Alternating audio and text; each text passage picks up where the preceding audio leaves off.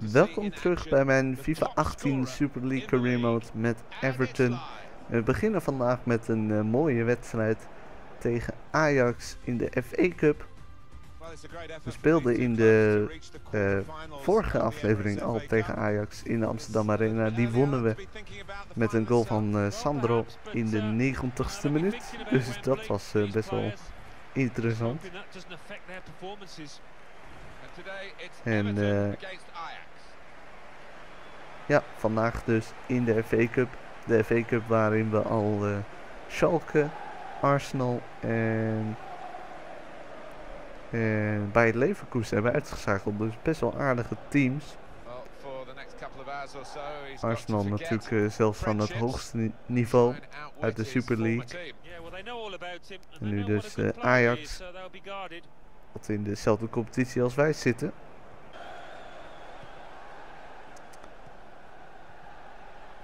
Hier uh, natuurlijk ook een paar spelers, oudspelers van Ajax onder mijn hoede. Klaassen, Kluivert en Onana. Hier de eerste aanval komt van Ajax. Dolberg kan zo doorlopen. En Ziyech, altijd een goede redding van Onana. De tiende minuut. Poging van Ziyech. Dan een corner. Een paar minuten later. Genomen door Rooney. Weggebokst door Van Leer. Die nu de keeper is. Aangezien Onana is vertrokken. Schneiderlin. Coleman. Aardige bal van Coleman. En de kopbal. En hij zit erin. Wayne Rooney maakt de 1-0. Wat een uh, aparte goal. Bal gaat uh, hoog de lucht in kopbal. En uh, is van Leer te mag. Wel een mooie voorzet trouwens. Veldman uh, wordt daar volgens mij afgetroefd. Ja, door Rooney. En dan uh, verwacht Van Leer denk ik in eerste instantie niet dat die bal nog op doel gaat. Dat hij overgaat. Maar hij daalt toch behoorlijk. Hij valt zo in het netje en zo komen we vroeg op voorsprong hier op uh, Goodison Park. Zijn derde goal in de FA Cup. Volgens mij ook gedeeld topscorer in de competitie. Club topscorer dan. Dit is uh, weer een goede actie van Rooney. Die de bal doorgeeft aan Kinsela. Die vindt Sigurdsson. En Sigurdsson had hier 2-0 moeten maken. Een redding met de voet van Van Leer. Klaassen verovert de bal. Klaassen probeert het. En Klaassen scoort. Maakt al twee doelpunten tegen Arsenal. Twee prachtige goals tegen Arsenal. In de eerste ronde denk ik. Of de tweede ronde die wij speelden in de FA Cup. En nu maakt hij het uh, weer mooi af. Geen idee wat uh, Viergever daar aan doen is. Duikt weg voor die bal. En ja, dan ziet uh, Van hem laat aankomen. En vliegt hij er mooi in. 1-0 of uh, 2-0 dus door Klaassen, oudspeler van Ajax. En volgens mij heeft hij tot nu toe elke wedstrijd tegen Ajax gescoord dit seizoen. Uh, in de thuiswedstrijd maakte hij zelfs de enige. En ook in de vorige wedstrijd scoorde hij de 1-0. Dan in de tweede helft hier hebben we Dennis Johnson aan de linkerkant. Geeft hem goed voor op Dolberg. Die probeert het dan met links. Misschien iets uh, te gehaast. Kijkt ook niet echt naar de goal. En uh, probeert het zo, maar dat was uh, niet echt makkelijk. We naderen het einde van de wedstrijd. Ziyech aan de bal. Dolberg. Frenkie de Jong. Geeft door aan Viergever. En Viergever met een mooie poging. Maar goede redding van Onana. Hier zien we de statistieken van Klaassen in deze wedstrijd. Natuurlijk uh, die belangrijke goal. maar we zitten echt in de laatste minuten van deze wedstrijd. En Ajax is in de aanval. Via Neres. De licht. Is mee naar voren. Viergever ook. Dan Schöne, Johnson en Johnson. Met een prachtige goal. En in de 89ste minuut komt Ajax eh, terug in de wedstrijd. Nou ja, is er ineens weer een kans. Het is wel prachtig gedaan door Johnson. Perfect uh, binnengeschoten. Door deze technische, technisch begaafde speler. Natuurlijk uh, die veel meer aan spelen komt sinds uh, Kluivert naar mijn team is vertrokken.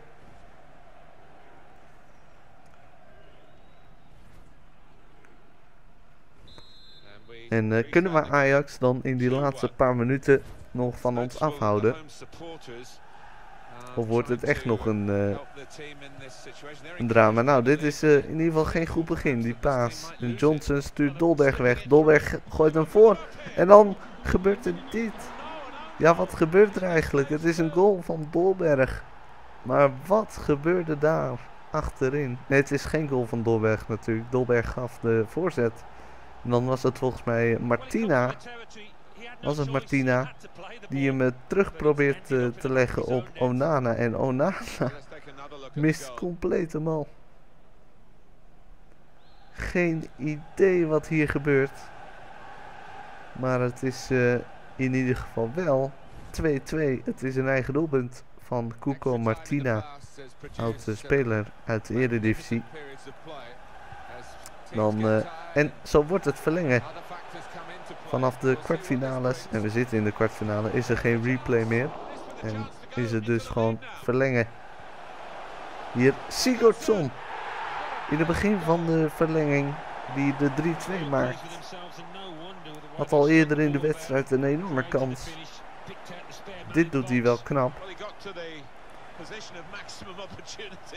Lijkt de eerste bal kwijt te raken en dan uh, in één keer prachtig uit de draai geschoten.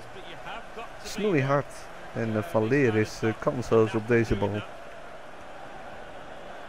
En zo hebben we de voorsprong weer te pakken. Geen idee hoe we die ooit zijn kwijt, kwijtgeraakt. Maar uh, het ziet er weer goed uit. En we gaan door Conor Grant ingevallen. Geeft de bal aan Rooney. Rechts is heel veel ruimte. Daar komt de bal ook voor Nias. En Nias had hier 4-2 uh, moeten maken. Maar schiet de bal te paal. En zo blijft Ajax in de wedstrijd. Maar Ajax komt er in deze verlenging niet aan te pas. Hier wordt uh, Nias weer weggestuurd.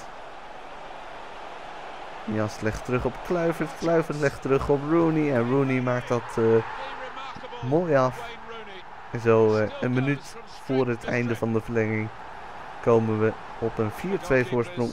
Goede actie hier van Kluivert, goed teruggelegd en uh, mooi afgerond door Wayne Rooney die dus zijn uh, tweede goal van de middag maakt. En uh, zo gaan we hier toch met 4-2 winnen. Al dachten we eerst dat we de wedstrijd wel konden winnen in 90 minuten. Hadden we toch iets meer nodig. En Ajax gaat nog een kans krijgen. Johnson geeft door aan viergever. Een viergever mist hem. Ja, is geen spits. Dan ook nog met zijn verkeerde been. En het lijkt eigenlijk meer op een voorzet dan op een schot. Maar uh, het blijft bij 4-2 en uh, toch wel sensationele wedstrijd hier. Vooral door die bizarre eigen goal van Martina werd het heel interessant. Uiteindelijk winnen we toch met 4-2. Dan gaan we dus naar de tweede wedstrijd in deze aflevering. En dat is een hele belangrijke. Tegen Inter. We zijn inmiddels uh, afgezakt naar de vijfde plek. Volgens mij wel een paar wed wedstrijden minder gespeeld. En uh, ja, de laatste keer dat we tegen Inter speelden, toen in San Siro, toen ging het volgens mij echt om de eerste plaats. En uh, toen wonnen we die wedstrijd. Dat zag er dus op zich goed uit. Maar daarna is het toch wel een beetje bergafwaarts gegaan.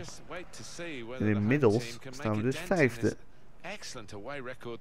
Deze keer weer op uh, Goodison Park. Dus dan zouden we in theorie alles uh, in eigen hand moeten hebben. Tegen welke ploeg uit deze competitie uh, dan ook. Maar het is uh, Inter dat goed aan de wedstrijd begint. We beginnen met een wat verdedigende instelling. Proberen in ieder geval goed door de beginfase heen te komen. Maar dat ziet er op dit moment niet zo uit. Want hier een grote kans voor Inter. Al heel vroeg in de wedstrijd.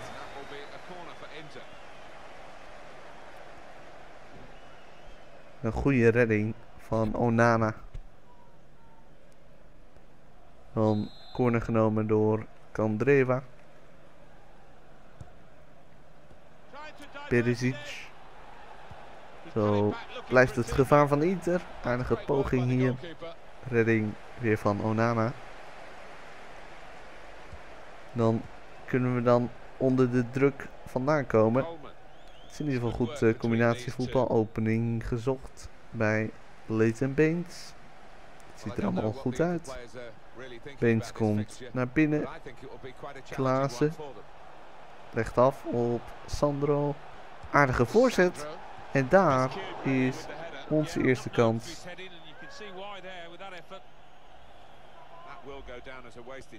Kopbal van uh, volgens mij is dat Nias. Ja.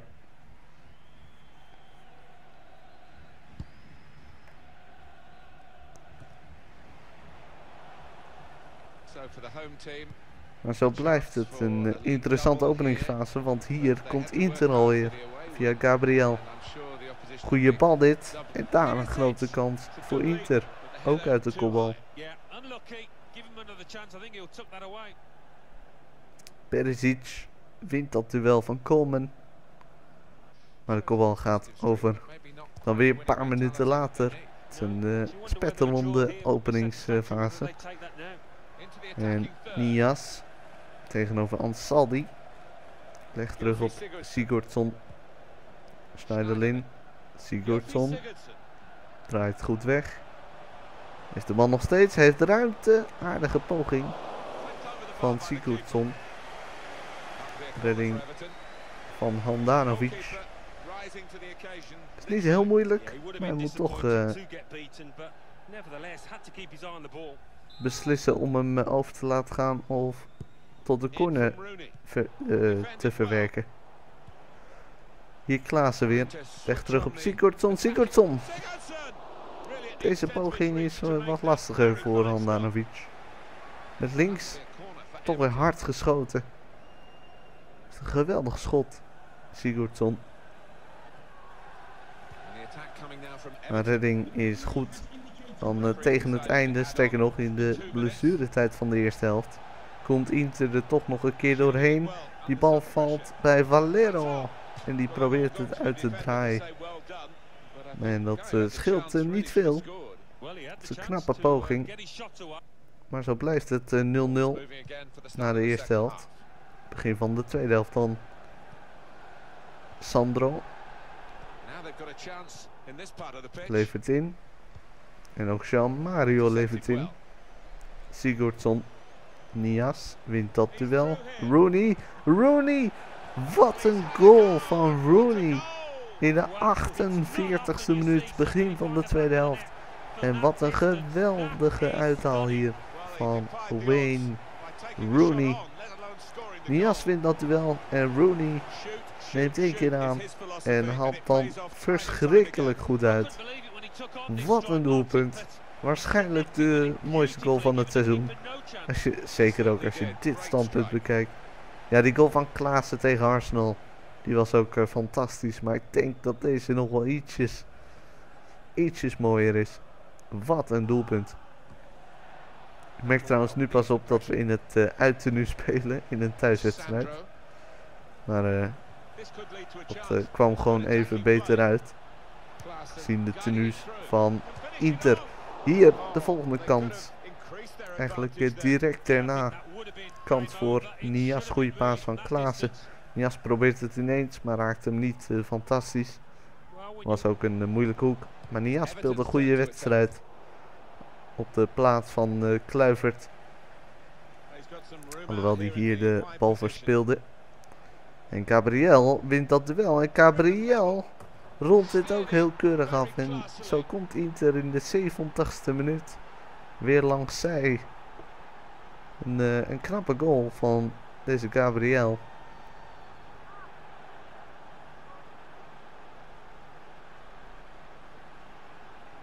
De Interfans vieren feest. Goed balletje. En dan uh, komt hij voorbij. Keen laat zich uh, makkelijk aftroeven. En dan plaatst hij de bal knap langs Onana. Dan is het dus 1-1.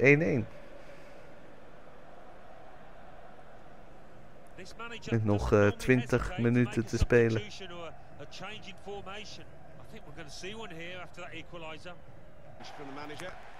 Gaan we weer meteen vanaf de aftrap.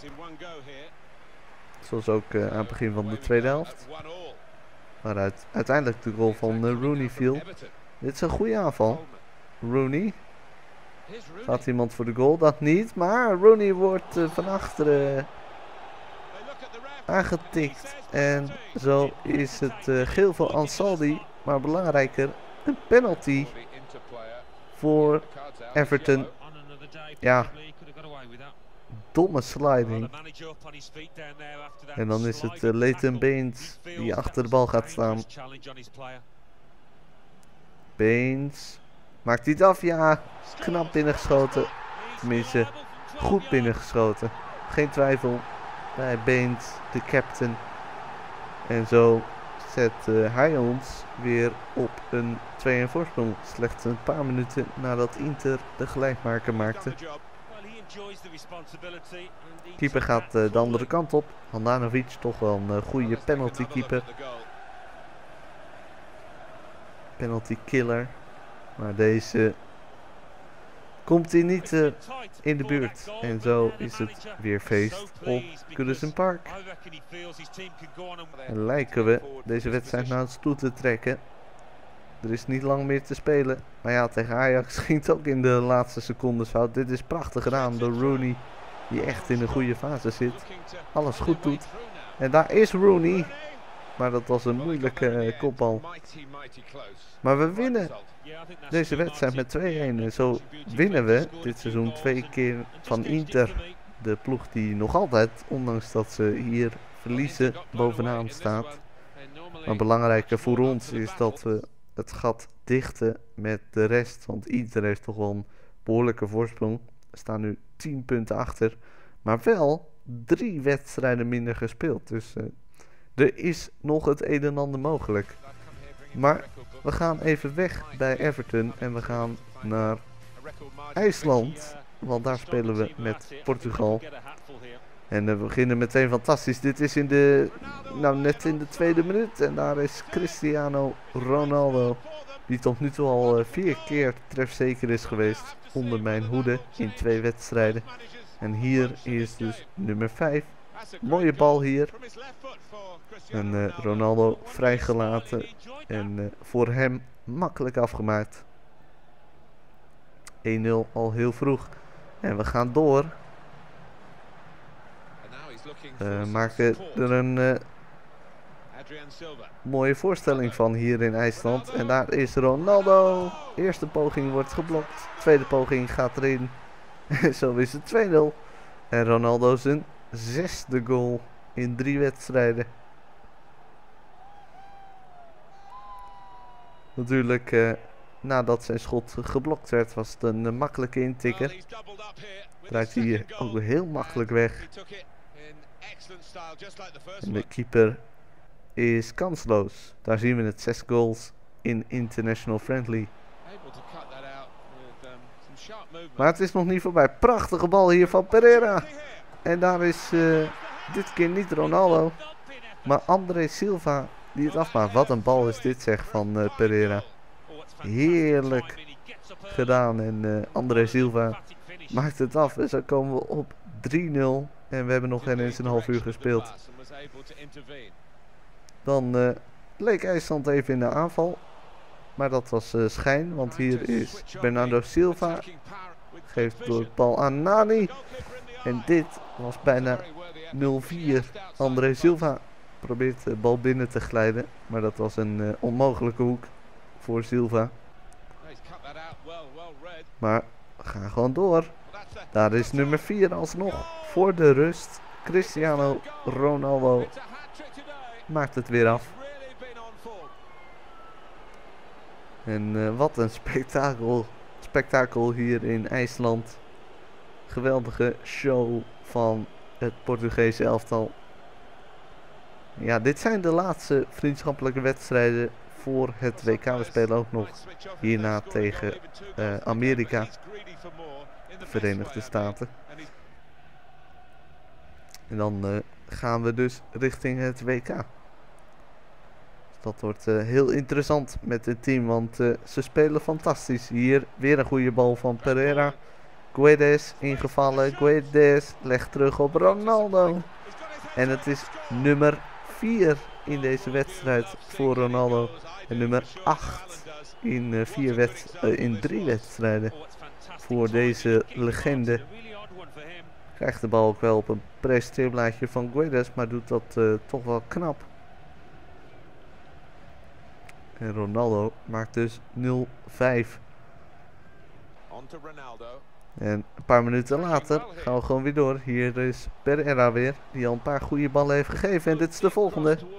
Moeite voor de keeper. IJsland krijgt de bal niet weg. Ronaldo legt af op Guedes. En die maakt het ook prachtig af. Zo heeft ook deze jonge spits van uh, Valencia zijn doelpunt te pakken. 0-6. En een hele mooie ook. Geweldig binnengeschoten. Raakt twee keer de lat. En uh, ja, het is een geweldige afstraffing. Is IJsland dan een keer in de aanval? Ja, Koemondson probeert het. En uh, dat is een mooie goal. Fout van uh, Guerrero daar, achterin. Die de bal heel makkelijk van zijn borst laat afschieten. We zien daar ook, uh, nee, uh, Sigurdarsson. Ik wilde zeggen, Sigurdsson speelt natuurlijk ook uh, voor IJsland. Die zal niet zo vrolijk terugkomen naar Everton. Na dit pak slaag. Hier weer Pereira, die echt een goede wedstrijd speelt. En bekroont hij dat ook met een doelpunt? Nee, want hij maakt hem niet goed af. Het was wel een mooie aanval. En uiteindelijk trapt Halderson die bal weg.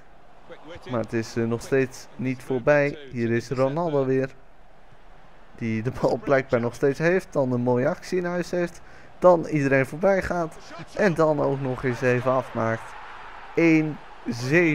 En de vijfde van Ronaldo. die handen. Ongelooflijk. Maar dat mag ook wel bij uh, vijf doelpunten in één wedstrijd. En niet tegen de minste. IJsland. Ploeg die uh, de laatste jaren behoorlijk verrast. Maar hier compleet weg worden gevaagd. Zo gaan wij in ieder geval met een goed gevoel naar het WK. 9 doelpunten in 3 wedstrijden voor Cristiano Ronaldo. 10 schoten en 5 goals in deze wedstrijd. Wat een prestatie van de Ronaldo en eigenlijk van het hele team natuurlijk.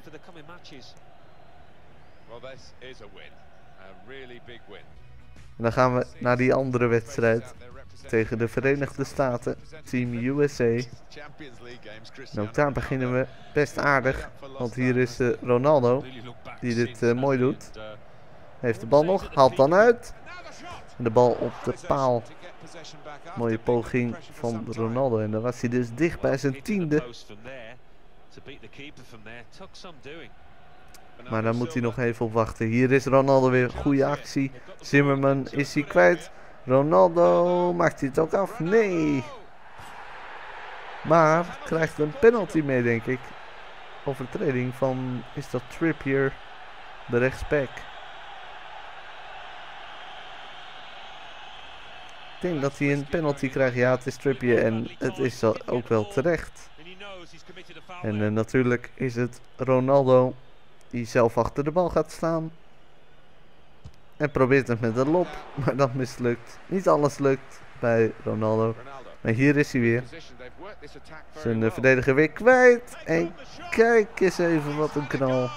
Cristiano Ronaldo heeft nummer 10 te pakken. In die vier wedstrijden dat ik bondscoach ben van uh, Portugal, heeft hij er dus 10 gemaakt nu. En het is ook wel weer een uh, beauty. Geweldig in de kruising. Scoorde die ook ongeveer tegen uh, Bulgarije volgens mij in die eerste wedstrijd.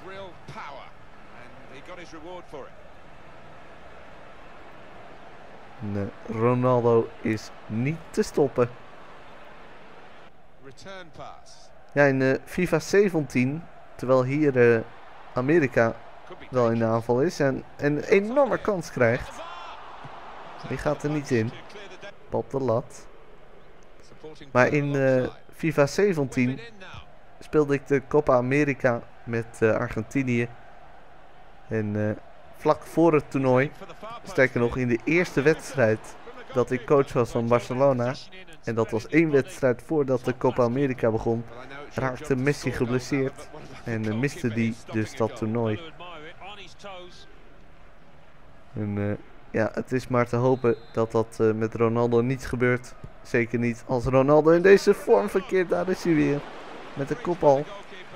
Goede redding van Hamid. Maar ondanks dat Messi er niet bij was, wonnen we dat toernooi met Argentinië. Dus dat was dan het uh, goede nieuws. En hier is Ronaldo met nummer 11. Ongelooflijk. Ja, was uh, net natuurlijk al heel dichtbij. En uh, nu zit hij er dan in bij die eerste paal. Krijgt ook alle ruimte van de wereld.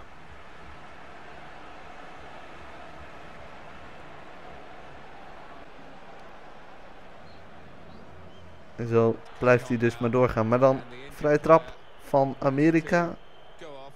Hier Jeslin met een goede poging op de paal. En zo heeft Amerika toch ook kansjes. Nou ja, kansjes. Enorme kansen. En hier weer de paal. Voor de derde keer. Maar ze scoren niet. En zo winnen we hier met 2-0. Maar eigenlijk een wedstrijd die in uh, alle eerlijkheid redelijk gelijk opging. Maar Ronaldo maakte toch wel even het verschil. Twee doelpunten van hem. Had ook nog een bal op de paal. En uh, ja, ongelooflijk. Uh, door die interlands moesten we weer een paar wedstrijden simuleren helaas. 0-0 zien we daar tegen Atletiek de Bilbao. En een 3-0 thuisoverwinning tegen Olympiakos. Dus dat zijn op zich prima resultaten. En zo zijn we gestegen naar de derde plek. Eén wedstrijd minder gespeeld dan Inter. Maar wel op 6 punten achterstand. Natuurlijk door dat gelijkspel zijn we nog iets achterop geraakt. Maar we, strijden nu vooral om de tweede plek. En natuurlijk in de FA Cup waarin we in de halve finale op Wembley tegen Juventus gaan spelen. Dus dat wordt ook heel mooi. Um, maar voor nu wil ik zeggen bedankt voor het kijken en tot de volgende keer.